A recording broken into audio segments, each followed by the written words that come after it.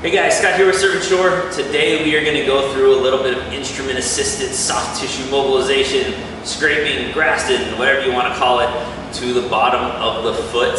This can be used for a little bit of plantar fasciitis as well as sometimes if you have some restrictions within that great toe kind of going up. So what we're gonna try and find, we really wanna find this little tendon right here if we're focusing on big toe, or we can actually go into the actual plantar surface where all of our plantar fascia is.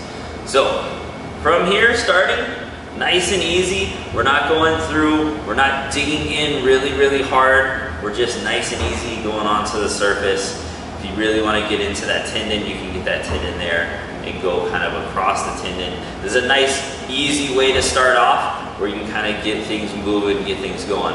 From there, if you want to get a little bit more aggressive, we can do a little bit of kind of like a strumming technique where we're kind of going across and trying to get it to loosen up that way. This can be pretty sensitive, especially if things are a little pissed off at the bottom of the foot. Don't just dig in there harder and harder and harder to piss them off. Go a little bit more easy.